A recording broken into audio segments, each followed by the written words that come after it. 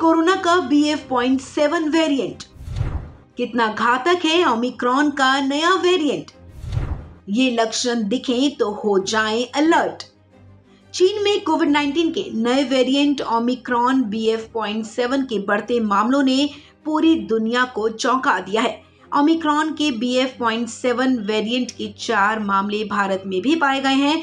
गुजरात में इकसठ साल की जो एनआरआई महिला कोविड पॉजिटिव पाई गई है। उसे वैक्सीन की तीन डोज भी लग चुकी हैं। बावजूद इसके, वो कोरोना की चपेट में आ गई हैं। आपको बता दें, कोरोना वायरस लगातार म्यूटेट हो रहा है और म्यूटेशन के कारण इसके लक्षण भी बदल रहे हैं। कई ऐसे मामले भी सामने आए हैं, जिनमें वैक्सीनेशन करा चुके लोग भी कोविड पॉजिटिव हो रहे हैं। दरअसल कई ऐसे लक्षण हैं जिन्हें कोई भी इंसान सामान्य मानकर अनदेखा कर देता है, लेकिन वो लक्षण कोरोना के भी हो सकते हैं। ऐसे में अगर आपको भी ये लक्षण दिखें तो इन्हें नजरअंदाज बिल्कुल ना करें।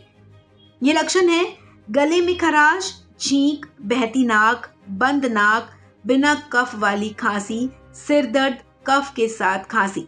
बोलने में परेशानी, मांसपेशियों में दर्द होना, गंध ना आना, ज़्यादा बुखार कपकपी के साथ बुखार आना लगातार खांसी होना, सांस लेने में समस्या और थकान महसूस होना। अगर आपको ये लक्षण नज़र आते हैं तो तुरंत डॉक्टर से सलाह ज़रूर लें।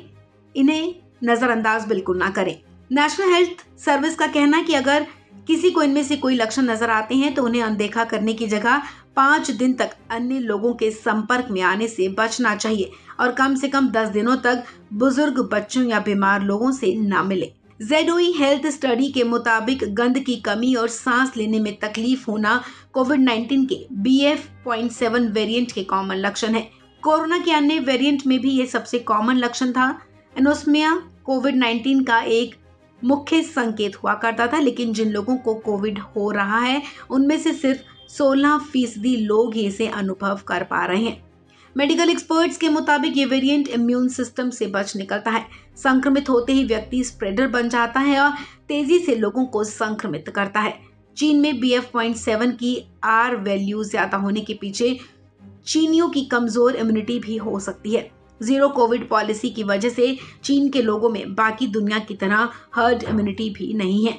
वहीं कोविड टीकाकरण अभियान के प्रमुख डॉक्टर एन के अरोड़ा के मुताबिक, भारत को चीन में बढ़ते मामलों से डरने की ज़रूरत नहीं है, लेकिन सावधानी बरतनी काफ़ी ज़रूरी है। उन्होंने कहा कि भारत में बड़े स्तर पर वैक्सीनेशन हो चुका है, जिसमें बुज़ुर्ग, युवा और कम उम्र के बच्चे भी शामिल हैं।